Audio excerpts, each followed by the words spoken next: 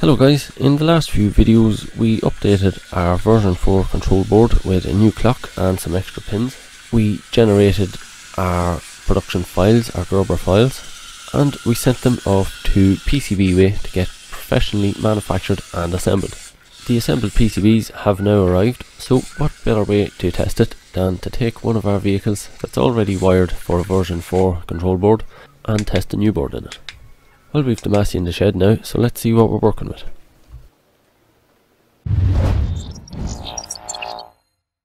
As you can see, the PCBs have come well packaged.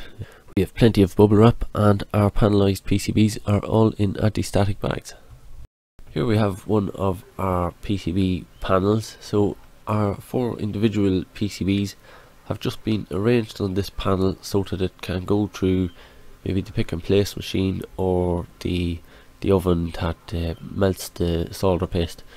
If they didn't panelize the PCBs like this, it'd be very difficult for them to be moved through an automated machine because our PCBs would have been extremely small.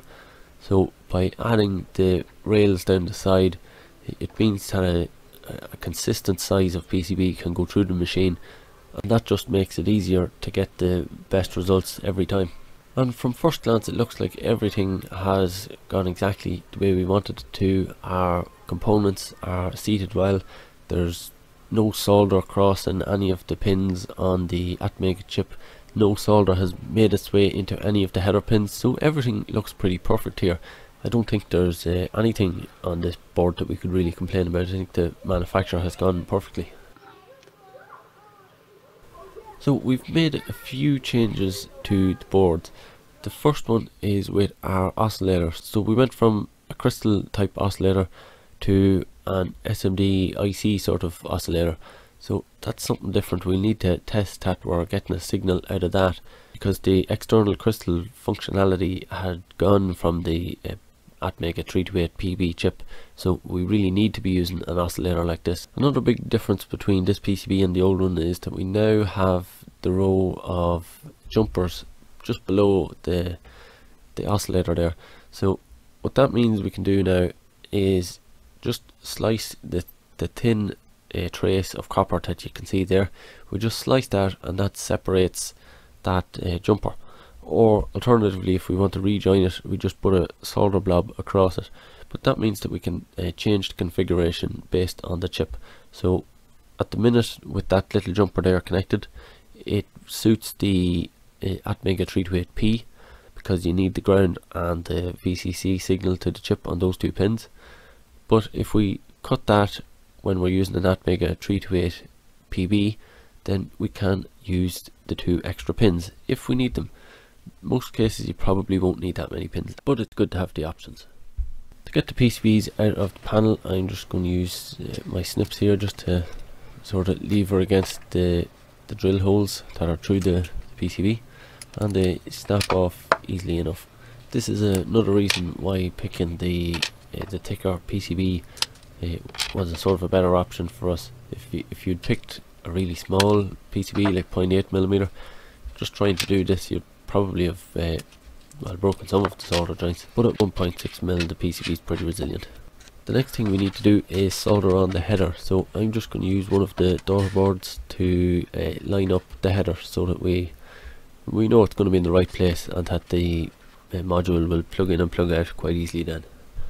And now that we have the header kind of stable in our PCB we'll just start soldering in the header pins so I usually would solder the four corners first and then go back to solder the ones in the middle. That way it, you're less likely to end up with the header kind of going up the hill or something like that.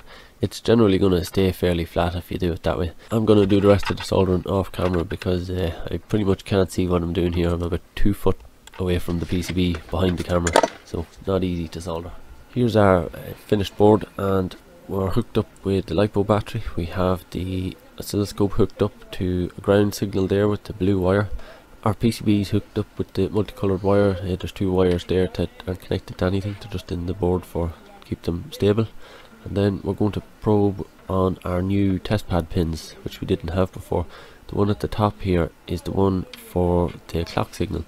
So that's the one we're most interested in and if we flick over to our signal we can see that our frequency there is 16 megahertz which is exactly what we were looking for another new feature we added was the change in the voltage regulator. So if you look at the blue signal there I started off at 5 volts and we're now dropping the voltage.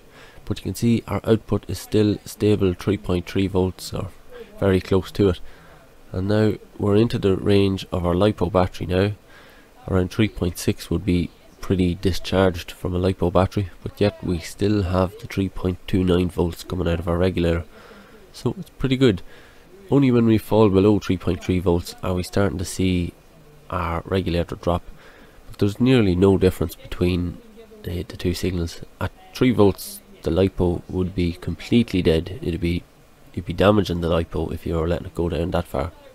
We can do a, similar test only looking at the clock signal this time. So we started around about 4.8 volts with the blue signal we're going down. Our yellow signal will be our our clock signal and you can see it's generally around about 16 megahertz. It's jumping around a bit because uh, I don't really have the right probes for this. Um, if you're doing this in a lab I think you'd use some sort of a differential probe but I just have the, the standard sort of probes. But we're getting an idea of what's happening and as the voltage is dropping there the blue line we're down at 3.7 volts here. But yet our clock is still roughly at the 16 megahertz so I think it's safe to say that both those changes are working uh, fairly successfully and they're both working very well in the range of a one cell LiPo battery. Well everything's working good so far so the next thing we need to do is get the NRF module soldered on and check that we're getting a good uh, radio signal from this. So this is going to take another bit of uh, acrobatic sort of soldering. So I'll, I'll, probably do one or two pins here and then uh, do it off camera again. This board is basically the identical footprint to the uh, last version. So all the programming boards and the motor driver boards are all going to be the same. So I don't need to do anything special there. I'll be able to just plug this straight into uh, the Arduino programming board and then it'll be the same with the vehicle. I'll probably use the uh, Massey 8680 just as a test bed because I have it on the shelf here behind me and I think it's the uh, motor driver board for this particular uh, version, version 4 motor driver board. So I have my Arduino Uno here, I have the Arduino ISP sketch uploaded to it I'm using my programmer shield and now I'm just going to plug in the version 4.2 controller and we're ready to upload the program. Well I don't think I have code for the Massey so I'm just going to use this Scania code and all we need to do is change the ID to 5 just to match the controller.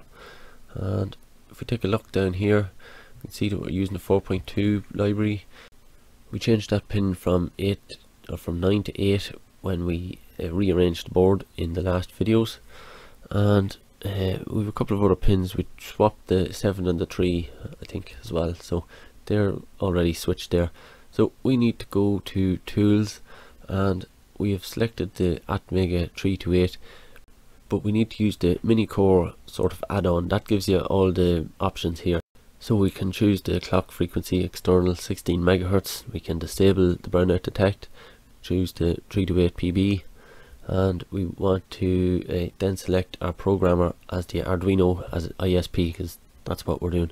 And if you want to set up an Arduino you plug your Uno in and you use this example sketch the Arduino ISP example sketch so when you've all that done the first thing we need to do is burn our bootloader to our chip. So that sets all these settings on the chip and it doesn't take all that long to do that. It's only a small program. The next thing is we're going to upload our sketch using the programmer because we already have it plugged in. So that's the easiest way to get it uploaded to the, to the board.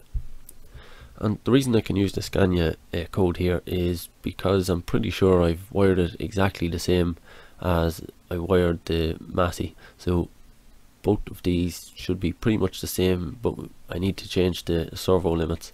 So once I set the servo limits for the steering servo and lifting arm servo then the Massey should just work. Well assuming that everything else is wired properly. Now that we have the boards all programmed it's just a matter of installing it in the tractor. So this one already has the motor driver uh, board wired up so we just have to uh, push the 4.2 control board into the motor driver and that should be it. I could do it packing those wires in a little bit better, it's just tricky to get them all in under the bonnet but everything is in. So now let's uh, give it a little bit of power. And you can see that the uh, controller is receiving a signal now we have control, there's steering, drive, control of the rear link, although it looks like the limits maybe need to be adjusted. And then we have our lights, so our tail lights coming on. We've no dipped lights because the, uh, the pin that we've signed doesn't have PWM function, so we can't do the 50% duty cycle on that, so it's just full on and we had our work lights there. Uh, this is the indicators now we're taking a look at. There's your right indicator. And this will be our hazards. I hit the two buttons. Yeah there's the hazards. And uh, the beacons flashing away there on the top all the time. And that's it. Our professionally manufactured PCBs are working exactly as we'd expect so I'll just say thanks again to PCBWay who supplied us with the sample PCBs and hopefully any of you viewers who are thinking of designing your own PCBs will see that it's not that uh, scary of an undertaking to try and get your own PCB professionally manufactured. You hopefully have an idea now of the kind of costs that you might expect and what the process kind of looks like. So if you like the videos don't forget to hit the thumbs up and don't forget to subscribe and get the bell on and all of that stuff. And as always, thanks very much for watching.